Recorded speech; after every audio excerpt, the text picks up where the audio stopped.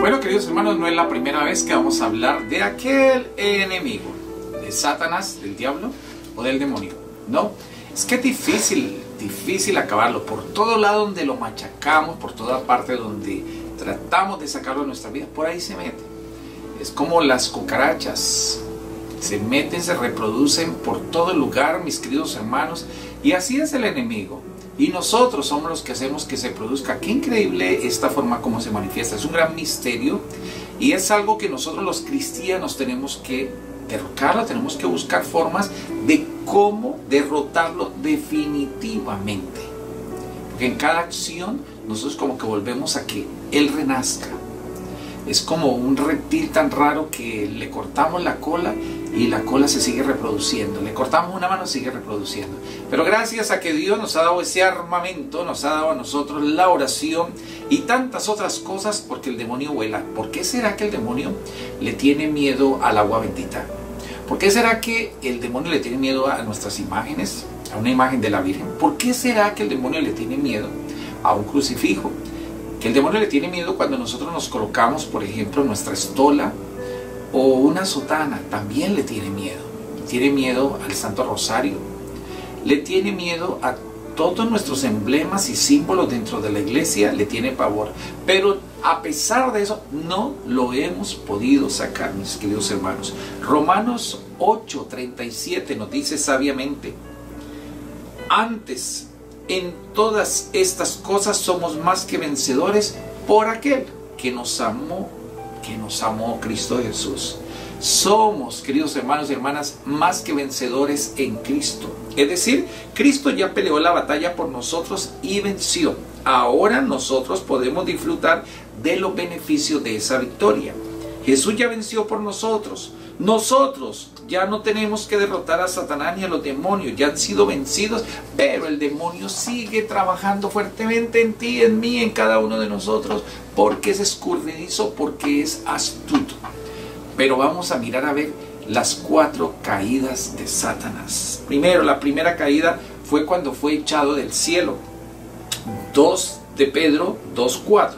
Porque si Dios no perdonó a los ángeles que pecaron, sino que arrojándolos al infierno los entregó a prisiones de oscuridad para ser reservados al juicio. Y eran tan perversos que cuando fueron arrojados se escaparon. Se escaparon, mis queridos hermanos, de esa prisión donde los habían mandado. Así que ellos por eso se multiplican y son legiones. La segunda caída cuando fue echado a tierra con la muerte de Cristo en la cruz. Nos lo dice el Apocalipsis 12, 7 al 9. Y dice la bendita palabra. Después hubo una gran batalla en el cielo. Miguel y sus ángeles luchaban contra el dragón y luchaba el dragón y sus ángeles. Y lo, sigo, lo seguimos viendo, hermanos, en los jinetes del demonio, que siguen cabalgando, cabalgando, cabalgando, cabalgando, para ver cómo nos van a destruir a cada uno de nosotros. La tercera caída cuando fue arrojado al abismo por mil años, mil años. Apocalipsis 21.3.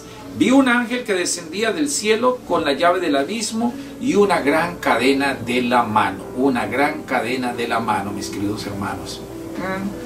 Ni así, caída de, de Satanás. Y la cuarta caída, cuando fue lanzado al lago de fuego y azufre. Apocalipsis 20:10, y el diablo que los engañaba fue lanzado en el lago de fuego y azufre, donde estaban la bestia y el falso profeta, y será atormentado día y noche por los siglos de los siglos. Increíble, mis hermanos. Satanás atado y echado en el abismo. Ni el abismo ni el lugar donde lo enviamos, ahí está. Como dice el Apocalipsis 12:10, Satanás ha estado intensamente ocupado en acusar a los hermanos, en acusarte a ti, en derrotarte a ti, en debilitarte a ti, en desanimarte a ti. Jesús no solo pagó el castigo por nuestros pecados, también nos dio la victoria sobre él cuando fue crucificado. Nuestra vieja naturaleza pecaminosa murió con él. Romanos 6:6. Sabiendo esto que nuestro viejo hombre fue crucificado juntamente con él para que el cuerpo del pecado sea destruido, a fin de que no sirvamos más al pecado. El poder de la carne es destruido. Efesios 4:27 nos dice, ni deis lugar al diablo. O sea que hay una verdadera batalla por la posesión de la vida de cada persona. Están cabalgando para ver cómo acaban con cada uno de nosotros, cómo se apropia de nuestras almas, de nuestros espíritus, para poseernos, para destruirnos, para tener más y más y más. ¿Saben qué? El demonio es muy ambicioso, el demonio quiere más y más víctimas, nos quiere a cada uno de nosotros para destrozarnos, para devorarnos, y se mete en cada uno de nosotros. Por eso Satanás nos persigue para matarnos y destruirnos. Depende de cada hombre entregarse a Cristo y apropiarse de su victoria o permanecer en el pecado y bajo la destructiva influencia de Satanás, que es lo que nos tiene el mundo, con tantas cosas. En todo lo que estamos viendo nosotros, mis queridos hermanos, es espantoso. En la Coca-Cola, en el Starbucks, en toda la cantidad de, los signos de los autos, en toda la cantidad de productos que estamos consumiendo hoy en día ahí detrás, aunque usted no lo crea, usted va a decir, pero es que el padre ya se volvió demasiado fanático. No, no, no, no, no. No me he vuelto fanático. Simplemente, mis queridos hermanos, quiero decirte que hay una cantidad de cosas que nos están a nosotros agobiando. Y eso es tan fuerte, tan fuerte, que ni nos damos cuenta. El enemigo, recuerden hermanos, que nos odia.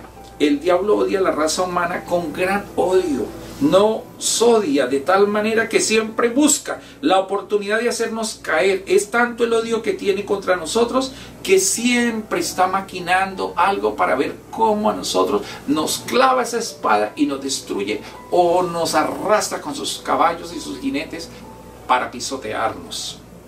El enemigo odia la creación de Dios.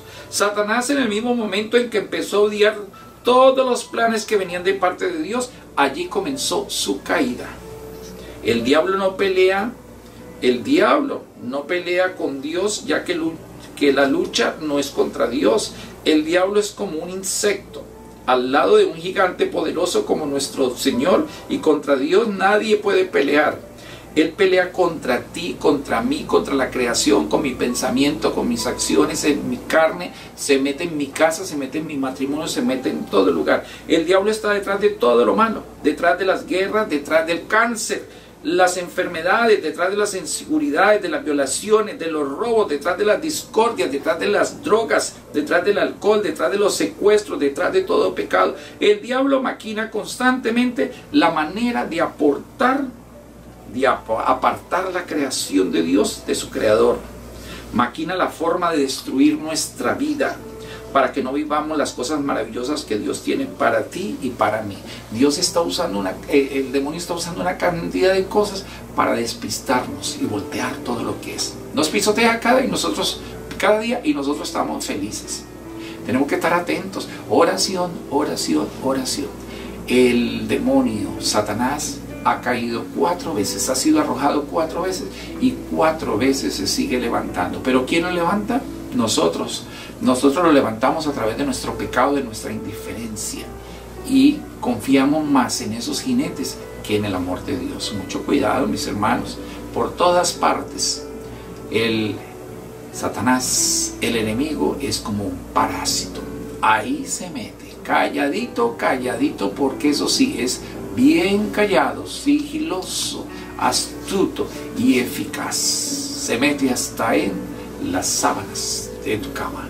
Que Dios me lo bendiga, mis queridos hermanos, porque estamos bendecidos, encendidos, sanados en victoria y seguirá cayendo Satanás. Recordemos, hay que hacerlo caer. Cada vez que rezamos el rosario, cae, cae, cae. Cada vez que comulgamos, vuelve a caer. Cada vez que nos confesamos, cae. Así que hay que hacerlo caer hasta que se hunda en, en su propia casa, que es el infierno.